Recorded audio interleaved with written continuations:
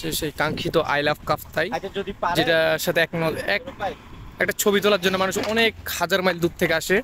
আমরা সেই স্থানে আছি আই লাভ কাফতাই অসাধারণ একটা কালার কম্বিনেশন এটা হচ্ছে আমার বড় ভাই উনি ঢাকা থেকে আসছে। ওনাকে নিয়ে আমাদের এখানে আসা।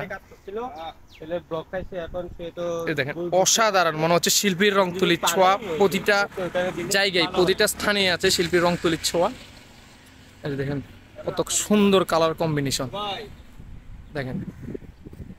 এই যে আমার আরেক দাদা, বড় ভাই।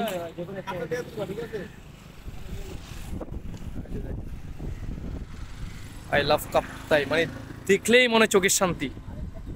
মানে যারা কাপ্তায় আসেন নাই, আমি মনে আমি বলব যে বাংলাদেশের মানে অনেক সৌন্দর্য মিস করছেন। বাংলাদেশে, সারা বাংলাদেশ ঘুরে আমার এত শান্তি লাগে না কাপ্তাই উপজেলাটা যত সুন্দর, যত শান্তি লাগছে। Tidak ada ya.